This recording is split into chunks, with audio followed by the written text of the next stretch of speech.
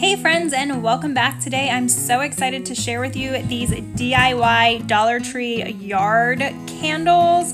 So I am taking these two pool noodles and I'm using this cutting board that I made in another DIY and I will link that for you too if you want to see how I made that Dollar Tree cutting board into this fancy Dollar Tree cutting board. And I'm taking these two pool noodles from Dollar Tree and I am just cutting them in half the best way I found is to use kind of a bread knife and just kind of saw your way through it and they cut right in half. So I'm just folding them in half and then sawing them in half with this knife and they cut right in half.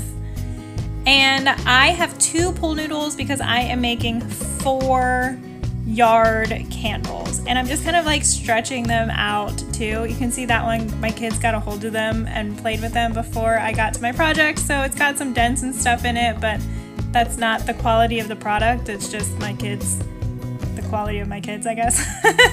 so I am just cutting each one in half and now I have four candles. And next, I'm going to take this construction paper that I also got at Dollar Tree, and I just need the yellow. And for four candles, I use about half a sheet of yellow paper, and this pack has three sheets of yellow in it. So keep that in mind if you are planning to make like lots and lots of these.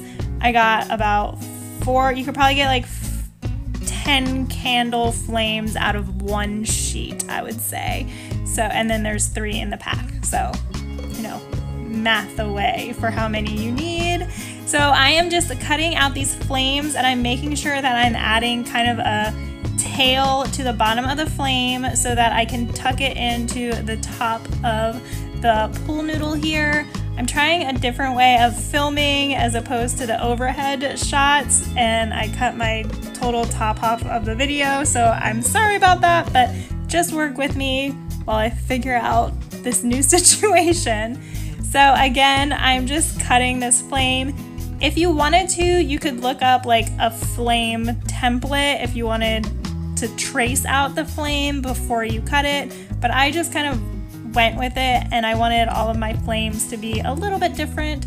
So I just kind of winged it each time I cut a flame and I'm just pulling the sticker off of the Dollar Tree noodle, which wasn't super difficult, but it ripped in half and I had to fight with it. But in the end, it came off and it was fine.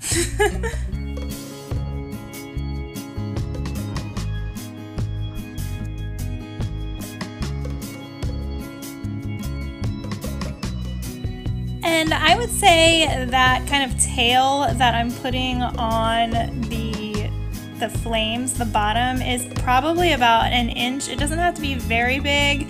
If you wanted to, you could put some tape inside and tape the flame if you knew that they were going to be out for a while. I also thought too you could probably laminate them if you wanted them to stay outside and kind of weather the elements a little bit, even if you just took some of the like clear packaging tape that they have at Dollar Tree taped over both sides of it and trimmed around it, it might help hold up against the elements.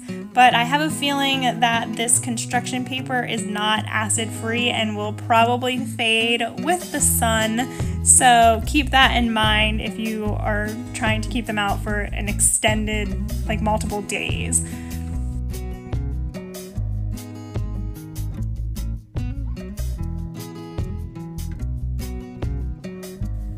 So again, I'm just tucking that flame into it. I thought they looked really cute when I pushed the actual flame part down in. It kind of curled them around the pool noodle a little bit and I liked the way that looked.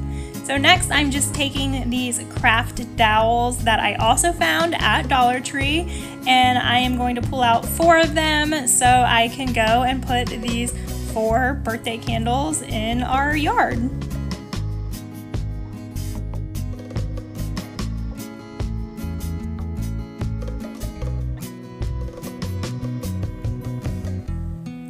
So I am taking my dowel and I'm just kind of sticking it into the yard. I didn't even go halfway down the dowel. It didn't need to go in very much at all, maybe about like two, three inches. And then I am taking my pool noodle and setting that right on top of the dowel. And you can see it stands up perfectly right there, just like a little yard candle. and then I put all four in and had Erin pretend it was her birthday. Happy birthday! I just think these turned out so cute. I really wish I would have thought of this project while we had my son's birthday in quarantine. I think it's something special that you can do since we can't really get together and all celebrate right now.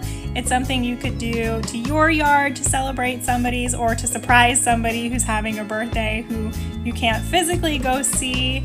I just thought this was such a cute idea and totally adorable. Thanks so much for watching, guys. As always, you can find more from us here. Make sure you subscribe so you can follow all of our adventures. Give it a big thumbs up, tap that bell, and let me know down in the comments if you've celebrated a birthday during these quarantine times. Bye, guys.